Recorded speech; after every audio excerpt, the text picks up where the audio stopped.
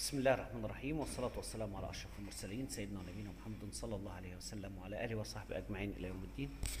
آه إن شاء الله النهارده مع بعض هنستكمل المحاضرة رقم 49 في آه تصميم المنشآت الخرسانية. وإحنا كنا توقفنا المحاضرة اللي فاتت آه إن إحنا كنا بنحسب طول الرباط واتفقنا مع بعض إن طول الرباط لو هو مش متوفر قدامي لو مش متوفر أو ما أقدرش أوفر الطول اللي هو عدد مرات من الفاي على حسب رتبتي الحديد والخرسانة فإحنا بنلجأ إلى التجنيش بتاع الحديد. يعني أقدر أعمل جنش الحديد عشان أوفر بالطول المطلوب. إن حبينا برضو نبص على الكود المصري وتقريبا شبيه بيه خالص أو نفس الجدول ده موجود في الكود البريطاني. بيقول أو بيقسم لنا الحديد أو نهايات الحديد على حسب الأطوال المتوفرة. وبيقول إن إحنا لو عندنا الطول المتوفر هو ال دي اللي أنا حسبته من المعادلة دي لو هو متوفر عندي داخل القطاع خلاص أنا هعمله مستقيم وبدون مشاكل. اعمله مستقيم وبدون مشاكل. وزي ما بصينا على الجدول بتاع الكود المصري قال لي إن هو في الحديد الأملس اللي هو الرتبة بتاعته من 28 مش الرتبة 24 على 35 ده مش مسموح فيه إن يكون طول الرباط مستقيم. لازم يكون فيه جنش ومقداره على الأقل 40 phi على الأقل 40 phi. إنما إحنا هنحسبه من المعادلة اللي هنا ونقارن بالحدود الدنيا من خلال جدول الكود المصري. آه الحديد الأملس اللي هو 28 على 5 الرتبة بتاعته 28 على 45 بناخده 50 phi في الشد وبناخده 40 phi لما يكون فيه جنش. يعني لو هو مستقيم بالمنظر اللي قدام حضراتكم ده هناخده 50 phi لو هو هيبقى فيه جنش أكيد يبقى طوله اللي أنا محتاجه أقل فبيبقى 40 آه phi. وهكذا بالنسبة لكل الأنواع اللي موجوده طيب لو أنا هعمل لو أنا عندي الطول ده مش متوفر لو أنا عندي الطول ده مش متوفر ممكن أعمل الجنش بثلاث أنواع. ممكن أعمل الجنش بثلاث أنواع يا إما جنش على شكل حرف U بالمنظر المرسوم ده حضراتكم يا إما على شكل زاوية قائمة يا إما إن يكون بزاوية ميل وزاوية الميل دي يا جماعة مع الافقي هي 30 درجة زاوية الميل دي اللي بتتاخد بتتاخد على زاوية 30 درجة. إن حبينا نتعرف عن المقاسات بتاعة زاوية الدوران أو الطول المستقيم بعد الدوران وهنا برضو الجزء الدوران هيبقى قد إيه والجزء المستقيم هيبقى قد إيه وهكذا بالنسبة للثلاث أشكال. فاحنا حاطين هنا حضراتكم من الكود المصري قلنا إذا كان قطر هذا السيخ هو phi فإن مقدار هذا الدوران لو أنا هشكل على شكل حرف U هو دي ال D دي عبارة عن إيه؟ ال D دي بتختلف على حسب رتبة الحديد على حسب رتبة الحديد. إذا كنا بنستعمل صلب طري اللي هو 24 على 35 فال D دي بتساوي أربع مرات قيمة phi أربع مرات قيمة ال phi ولو أنا عندي الحديد اللي هستعمله حديد أنا هنا حضراتكم الكتالوج ده أنا حاطه تحت خالص أهو. ال D دي بتختلف على حسب قيمة أو نوع الحديد حسب رتبة الحديد اللي أنا بستعمله.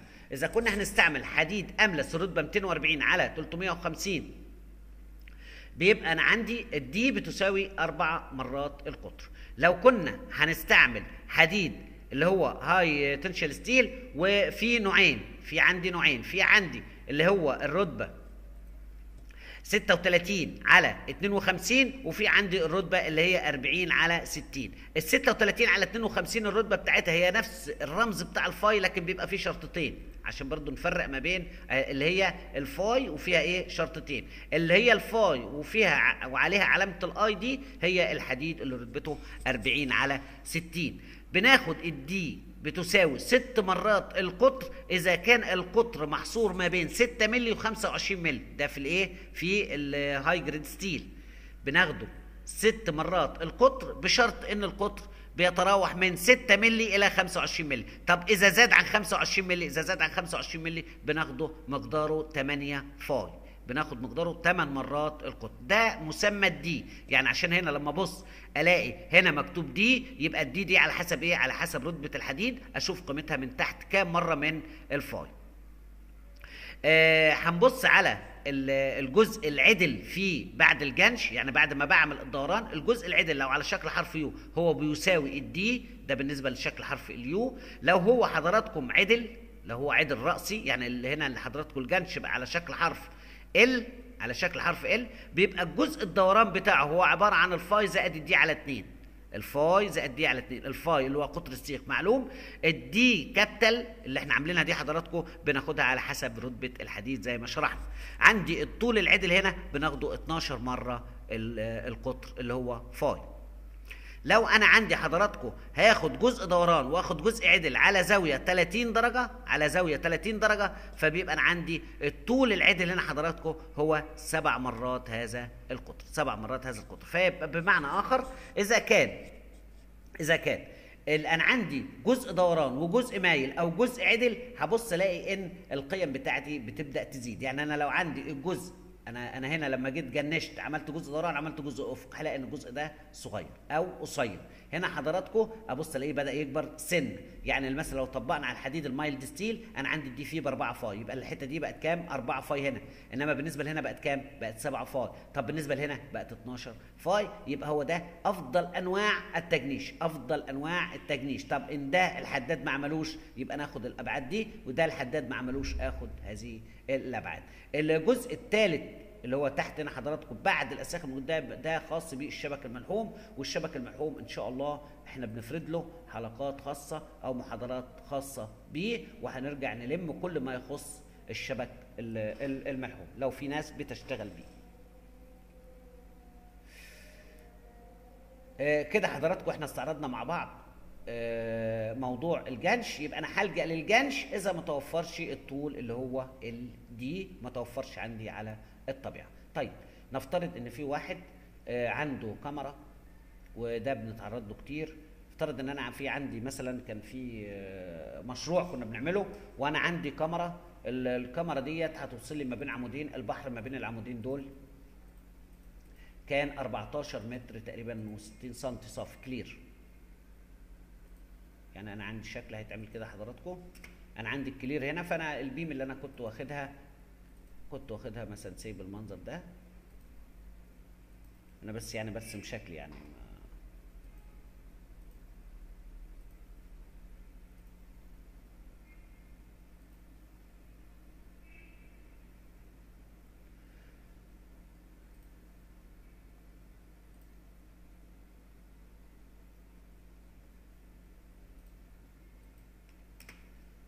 وجينا حضراتكم أنا احتجت إن أنا لما طبعا لما أجي هسلح منظر زي اللي زي اللي قدامي ده حضراتكم هنا حضرتك هيتعمل مقص طبعا. وطبعا الكلام ده إحنا هنشرحه بالتفصيل في شرح كيفية تسليح أو رص الحديد في العناصر الإنشائية المختلفة. وبالتالي أنا شرحت الجزء ده وقلنا ليه بنعمل هنا المقص. المهم إن أنا عندي في الجزء العالي هنا حضراتكم أنا ما بعملش مقص أنا بمشي كده. طب افترضوا إن الطول ده طلع أكبر من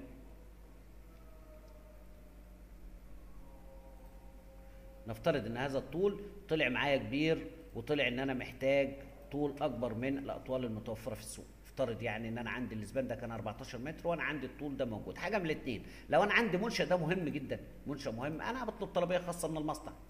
عايز حديد طوله 16 متر عايز حديد طوله 18 متر طوله 19 متر طوله 20 متر 21 متر على حسب الطول اللي أنا محتاجه أنا بطلب بيه طلبية من المصنع. طب في المنشآت العادية المنشآت الصغيرة ما يصحش إن أنا هروح أوقف مصنع ويوقف لي خط إنتاج وأقول له والله اديني أنا عايز من ده 10 سياخ يعني. هيبقى الكلام مش لوجيك ومش منطقي.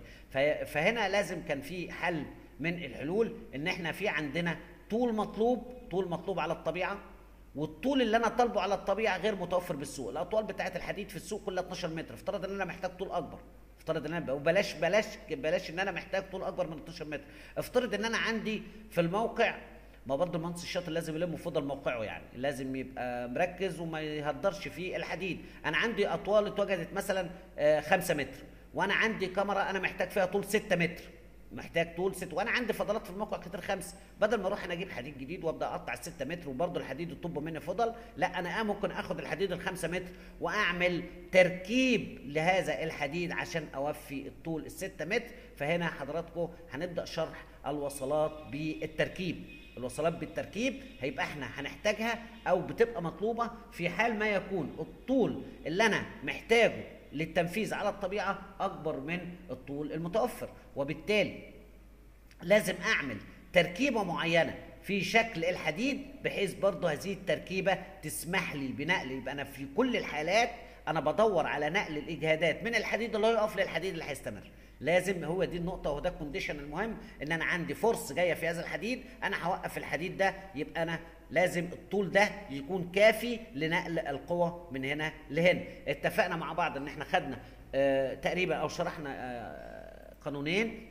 القانون الأولاني كان خاص بتماسك الانحناء القانون الثاني اللي هو الخاص بطول الرباط وهم نفس القانونين برضو اللي إحنا هنستعملهم في التطبيق على هذه الوصلات. وصلات بالنسبة لي وصلات التراكيب أو تركيب الوصلات على بعضها اتفقنا إن إحنا الشكل العام لنقل الاجهادات بيتم في هذا الشكل وبنقول إن إحنا عندنا أما بيحصل تركيز للإجهادات عند نهاية السيخ يعني عند السيخ ده عند ال Fs بتاعته قلنا بتساوي صفر إنما بيقابلها في السيخ اللي هينقل منه القوة بيقابلها Fs بتساوي F yield يعني بيحصل تركيز في الاجهادات فبالتالي هنا ممكن يحصل cracks عند نهايات الأسياخ. الكلام ده ممكن نلاقيه هنا ممكن نلاقيه في نهاية الكاميرات. نلاقيه في نهاية الكاميرا لو أنا عندي كاميرا زي دي وحضراتكم وأنا بسلحها مثلا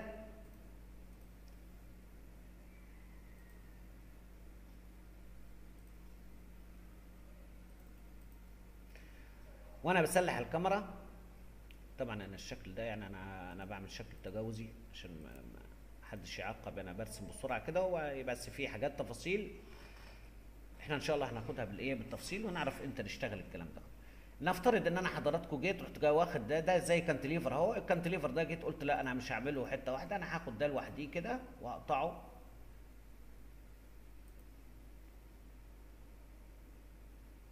معلش الكمبيوتر تقيل شوية عشان النت شغال. آه افترض حضراتكم إن أنا هقف هنا وهاجي واخد ده حديد نهايه بالمنظر ده كده. أهو أنا هوقف ده كده وهوقف ده كده. برضو هنا دي نهايات دي نهايات. هذه النهايات ممكن تعمل لي cracks النهايات ديت ممكن تعمل لي آه cracks وأنا آه شغال. فلازم آه نضمن وجود أو تركيب طول معين بحيث إن ال force اللي موجودة هنا تبدا تتنقل. أو بمعنى آخر يا جماعة علم الهندسة أو تصميم العناصر الإنشائية مبني على نظرية الاتزان. نظرية الاتزان سواء كان القوة الخارجية اللي بتأثر عندي لازم أجيب قوة داخلية تساوي القوة الخارجية. وده اللي يمكن هو محور شرح آه الأمثلة اللي فاتت كلها تقريبا بالبرنسبلز الأساسية بدون الاحتياج لقوانين. فاحنا عندنا برضو هنا لازم أحط طول مناسب بحيث ان هو يضمن لي نقل هذه الاجهادات من هذا السيخ إلى هذا آه السيخ. طيب إحنا لو جينا بنقول اللي هي الوصلات بالتركيب افترض ان أنا عندي حضرتك مثلا في القطاع عندي سبع ثمان اسياخ في القاع بتاعي بلاش يعني أنا واحد اثنين ثلاثة أربع اسياخ اهم عندي أربع اسياخ لو أنا جيت قلت والله أنا حاجة أقف هنا أهو وأجي عامل كل وصلات التراكيب فوق بعضها دي هتديني نقط ضعف شديدة جدا بالنسبة لمكان الوصلة. فبيوصي الكود المصري على إن الوصلات تبقى stagger. شوفوا كده حضراتكم الوصلة دي خدتها فين؟ الوصلة الثانية خدتها فين؟ الوصلة الثالثه خدتها فين؟ and so on في يبقى كده أنا بعمل stagger أو بخلي الوصلات بتاعتي ما تقفش على مكان واحد. ما أجيش على مكان واحد وأجي واخد كل التسليح بتاعي مثلا. افترض إن واحد راح جاي قال أهوت أنا ده القطاع ورحت جاي إيه؟ هعمل كل وصلاته كده. كلها تحت بعض أو كلها في مكان واحد. كلها في مكان واحد ده خطأ شديد. لو عملنا الوصلات كلها نفترض يعني ده ده العرض اللي هو القطاع وأنا ان بلان يعني أنا قطعت الكاميرا وبصت في القاع بتاع الكاميرا واكن بالظبط بستلم الحديد وأنا واقف على السقف في النجارة ببص في القاع الكاميرا ببص في القاع بتاع الكاميرا أشوف لو أنا عامل هنا وصلات ما يكونش الوصلات دي كلها على خط واحد. لازم الوصلات دي تبقى إيه؟ تبقى استجر زي ما إحنا موضحين هنا وده طبقا لتعليمات الكود المصري. كمان الكود المصري بيقول عند افترض ان أنا مثلا عند آه أنا عايز اعمل الاثنين دول ورا بعض اقطع هنا يعني عايز اوصل اثنين وبعد كده اعمل واحد واوصل اثنين واعمل واحد. عند المحور الواحد عند المحور الواحد عدد الوصلات اللي أنا بنفذها ما تعديش من 25% من عدد الحديد. يعني لو أنا عندي القطاع ده مثلا سي فيه 8 سياخ. 8 سياخ يبقى أنا مسموح لي بحد اقصى اعمل وصلتين بس اللي هي 8 على 4 اعمل وصلتين بس فين؟ ها في على محور واحد. واللي وراهم آخد وصلتين تاني واللي وراهم آخد وصلتين تاني إنما يفضل إن أنا أبعد الوصلات عن بعضيها بهذا الشكل في وصلات التراكيب ووصلات التراكيب ممكن يكون لها أكتر من نوع وأكتر من شكل. بالنسبة لوصلة التركيب ممكن قوي يبقى الحداد هو شغال راح جاي حاطط لي السيخ على السيخ وبيجي رابطهم هنا برباط شديد بسلك رباط بكثف أنا سلك رباط وكمان بالمناسبة في نقطة مهمة لما يكون عندي واصله زي دي واصله زي دي ما اكتفيش بس بسلك الرباط لا أنا برضو لو نفتكر زمان وإحنا بنشرح الكانات مطلوب إن أنا أكثف الكانات في هذه المنطقة. يبقى logic قوي إن أنا أكثف الكانات في أماكن التراكيب أو أماكن الوصلات اللي من ده أزود عدد الكانات في هذه الايه المنطقة. طب هل هنا وصلة التركيب دي وصله التركيب. هل ممكن تتعمل بس على السيخين بالمنظر ده؟ افترض إن أنا هعمل السيخين بعاد عن بعض. مسموح لك تعمل السيخين برضه بعاد عن بعض؟ طبقا للكود المصري إنما إداك condition وإداك اشتراطات قال إن المسافة من محور السيخ لمحور السيخ من محور السيخ ده لمحور السيخ ده بتساوي.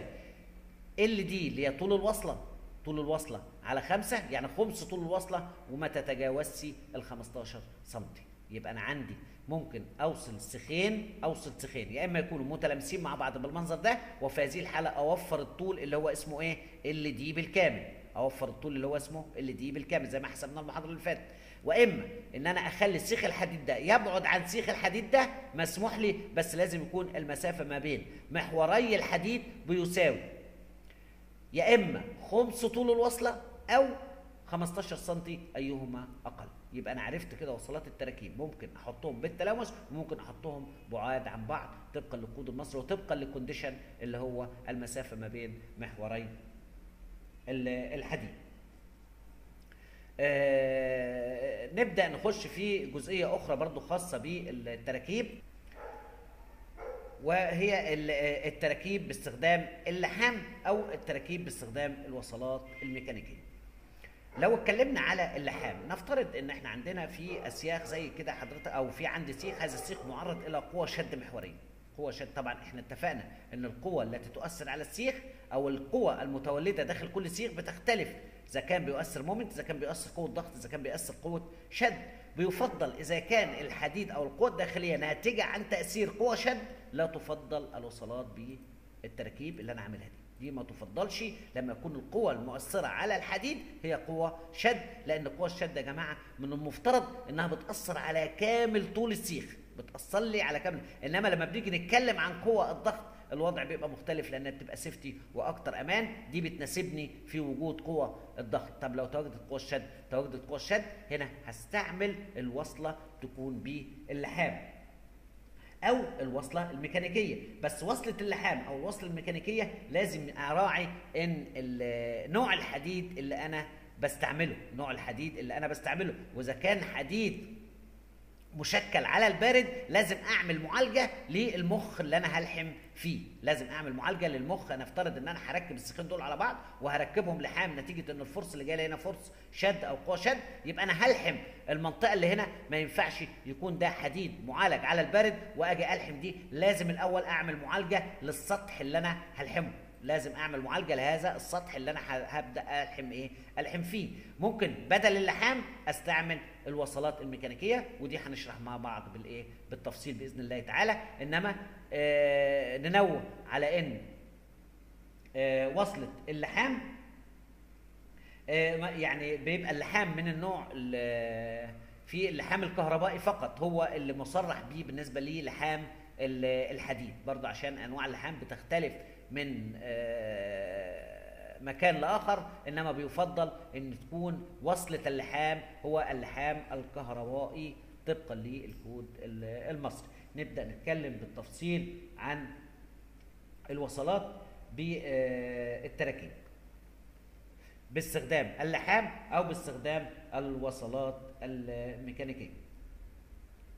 آه برضو كان في شرط تاني إحنا كده اتكلمنا عن لو إن في هنا في قوة شد بتأثر على السيخ فضلنا أو قلنا بلاش نعمل وصلة التراكيب دي. برضو هنا الاقطار يا جماعة لو زادت يعني ممكن نست... نتعامل من القطر 25 مللي مثلا 25 مللي. أنا يعني مش مت... بصراحة مش متذكر الكود المصري ذاكر فيها إيه إنما هو يعني القطر ده إن زاد عن 25 مللي أو 32 مللي على ما أذكر القطر ده إن زاد عن 32 مللي آه بيفضل في وصلات اللحام ما يفضلش في الوصلات بالتراكيب أو الوصلة اللي حضراتكم آه شايفينها نتكلم على وصلة اللحام والوصلة الميكانيكية.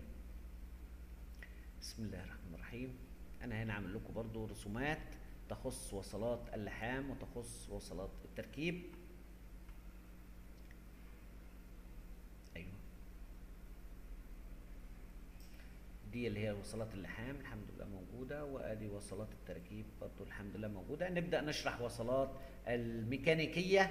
اللي ممكن بدل ما نركب الحديد على بعضيه إحنا خدنا كده حالتين ممكن نركب الحديد على بعضيه ممكن أبعد الحديد عن بعضيه وعرفنا ال condition والاشتراطات قلنا إن دي ما تفضلش إذا كان عندي هنا في قوة حالتين إذا كان عندي هنا في قوة شد بتأثر على السيخ وإذا كان القطر المستعمل أكبر من 32 مللي وسامحوني لو كان في الكود المصري 25 مللي آه هي 25 يا 32 مش متذكر الرقم بالظبط أو القطر اللي يفضل معاه عدم استخدام وصلات التراكيب بس هو 90% 32 مللي. نبدأ على النوع الثاني وهي الوصلات المعدنية. الوصلات المعدنية إحنا بنجد منها نوعين أو بنجد منها شكلين. الشكل الأول بالنسبة لهذه الوصلات وهي ان إحنا بنستعمل فيها جلبة. جلبة من الصلب جلبة من الصلب زي بالظبط كده فك... يعني لو نقولها زي الصامولة زي الصامولة كده بالظبط يعني بس إحنا طبعا هنا جلبة لها مواصفات خاصة وبيكون مواصفات الحديد المستخدم في تصنيع الجلبة نفس مواصفات حديد الإيه؟ حديد التسليح فبنحط جلبة وبنبدأ نعمل الاووز في السيخ الحديد اللي جاي من هنا واللي جاي من هنا والاثنين بنركبهم على إيه؟ على بعض بهذا الشكل بيبقى أنا عندي طول الجلبة اللي أنا بست أو طول الصامولة اللي بستعملها هنا حضراتكم بتساوي الطول اللي هو اللي دي اللي إحنا كنا بنشرحه المحاضرة اللي فاتت اللي هو طول التماسك المطلوب. في عندي نوع آخر من الوصلات الميكانيكية وهي إن أنا بستعمل جلب هذه الجلب بنضغطها على المحيط الخارجي للسخين يعني بيبقى أنا عندي سيخ جاي من هنا أهو سيخ جاي من هنا أنا بحط الألواح دي وبتضغطها ودي بتضغط بمكابس خاصة على المحيط الخارجي لنهايات الأسياخ. وديت بتنقل لي الإجهادات من السيخ ده للسيخ ده عن طريق الاحتكاك ما بين السطح الداخلي للجلبة وسيخ الحديد اللي موجود. وإن كان هنعمل جلبة زي دي أو زي دي المفروض إن إحنا ما نستعملهمش إلا بعد عمل تجارب معملية علشان نشوف مدى كفاءة هذه الجلبة في نقل الأحمال المتولدة داخل الأسياخ. يعني إحنا مش بناخد أرقام وخلاص لأ في حالات خاصة لازم أعمل عليها تشيك اب في المعمل وأشوف الاختبارات المعملية بمعرفة المهندس الاستشاري المختص علشان يقدر يحكم لي على هذه الجلبة هل ينفع أستعملها في الطبيعة أو لأ؟ طبقا للتجارب المعملية اللي بتتعمل. اتفقنا إن الجلب سواء كان من هذا النوع أو من هذا النوع لازم تكون من نفس نوع الصلب المستخدم. والمفترض كمان إن إحنا عندنا الجلب دي بيبقى الإجهاد بتاعها بيزيد عن كمان إجهاد صلب الحديد المستعمل. يعني لو أنا عندي صلب الحديد ده إجهاده. سي إكس أنا باخد الجلبة دي بيبقى مقاومتها أو إجهادها يمكن مرة وربع قيمة هذا آه الإجهاد. آه كده ده اللي هو الوصلات الميكانيكية. وبرضه بالنسبة للوصلات الميكانيكية بالظبط زي وصلات التراكيب مش مسموح فيها إن إحنا نعمل الوصل على محور واحد. لازم الوصلات تبقى stagger ولازم يكون عدد الأسياخ اللي بعمل لها تركيب في هذا القطاع بيساوي تقريبا خمسة لا تزيد عن لا تزيد عن 25% من area S هذا القطاع. يعني لو أنا عندي هنا 32 سم يبقى أنا هشتغل على 25% من ال 32 سم يعني 8 سم فقط يبقى 8 سم مربع. يبقى أنا عندي مثلا سي هاخد سيخين هم دول هعمل لهم الوصلات. بعديها بطول أعمل وصلات أمشي استجر علشان أقدر أشتغل عشان أفادي تركيز الإجهادات والانهيار اللي ممكن يحصل في هذه المناطق. بالنسبة للوصلات الميكانيكية الوصلات الميكانيكية لا تستخدم في الأقطار الأقل من 20 ملي ما تستخدمش في الأقطار الأقل من 20 ملي بالنسبة للحام برضو علشان نقول مواصفاته آه، عموما أهو آدي اللحام. هنا حضراتكم لو مت... عشان بس نتخيل هذا الشكل ال- اللي معمول بالأخضر ده اللي عليه مجموعة مصطلحات هو ده اللحام. يعني الجزء الأخضر ده اللي أنا عامله من هنا أهو لهنا هو ده اللحام اللي أنا واخده من هنا واخده من فوق. عندي السيخ اللي هو اللون الماجنتا ده هو ده القطر السيخ الرئيسي اللي هو اسمه فاي 1 فاي 1 عند فاي 2 فوق وفاي 2 تحت دي حضراتكم دي وصلات إحنا استعملناها علشان نقدر نوصل بيها الحديد. وفاي 2 تقريبا بتبقى نص فاي 1 وأدي شكل اللحام الجانبي. شكل اللحام أهو. اللي هو بيبقى فيه الجنب ده اللي هو أنا مديله فيه لو أنا بصيت في هذا الاتجاه هيبقى ده طولي هو اللي أنا مديله رمز المستطيلات الإيه؟ آه، الصغيرة. آه، بالنسبة للحام لو أنا افترض إن أنا عايز ألحم وألحم جنب آه، سي في جنش أنا عامل جنش وهعمل لحام برضه لو أنا عامل جنش وعامل لحام دايما اللحام بيبدأ على بعد لا يقل عن 10 سم من الجنش. يعني لو حضراتكم بصينا على أي حاجة كده أهو جنش زي كده لما أنا هستعمل هنا لحام في الوصلة دي يبقى أنا ببدأ اللحام على بعد 10 سم منين؟ من بداية ال- الدوران. وبرضه في اللحام ما نلحمش أكتر من 25% من مساحة الحديد. يفضل توزيع الحديد برضه استجر زي ما اتفقنا مع بعض. واللحام اللي بيستخدم في هذه الأنواع هو اللحام الكهربائي. ده اللي إحنا بنستخدمه في الوصلات. كده إحنا تعرضنا لوصلات التركيب. عرفنا منها ثلاث أنواع. آدي نوع اللي هو التركيب. في عندي وصلات باستخدام اللحام وفي عندي الوصلات الميكانيكية. وتقريبا قلنا شروط آه، قلنا الشروط اللي هي بتجمع ما بين وصلة التركيب العادية اللي هي بنعمل فيها overlap أو في ال- ال weld أو في ال mechanics آه، splice آه، عندنا في جزء مهم اللي هو خاص بال ان أنا مثلا عندي قطاع اللي هو موضوع عدد الاسياخ المجمع. يعني ممكن استعمل سيخين اكنهم قطر واحد ويبقوا الاثنين مع بعض وفي عندي جروب ممكن اعمل ثلاث اقطار مع بعض. إن شاء الله الكلام ده هنشرحه في ال- المحاضرة اللي جاية. وأتمنى من الله عز وجل إن إحنا نهتم نهتم اهتمام شديد بأطوال الرباط سواء كان تماسك الانحناء أو طول الرباط المطلوب لضمان نقل الإجهادات المتولدة داخل حديد التسليح من سيخ إلى سيخ أو من السيخ إلى الخرسانة المجاورة. نبقى حاطين هذه الأمور في عينينا وإحنا بن بن بنرسم الديتيلز بتاعه العناصر الإنشائية المختلفة. آه، نحاول كده نشوف نستعرض بعض المنتدى. أنا متذكر إن كانت في أسئلة. كانت في أسئلة جت على المنتدى بس أنا بأمانة مش متذكر هل هي في في تصميم الإنشاءات أو في دورة الأساسات. فبرضه نبص بصة سريعة إن شاء الله عليها.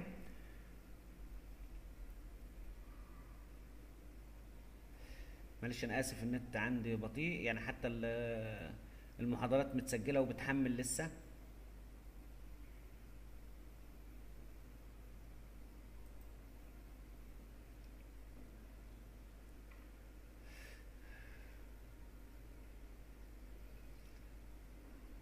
معلش هتساوى معايا شوية في في النت عشان يعني هو والله في صعوبة عندي أنا بموضوع الرفع.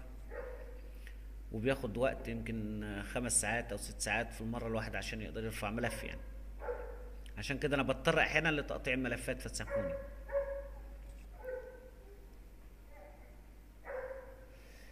طب عموما يعني عشان أنا برضو إيه ما استهلكش وقت من حضراتكم آه إن شاء الله هنطلع على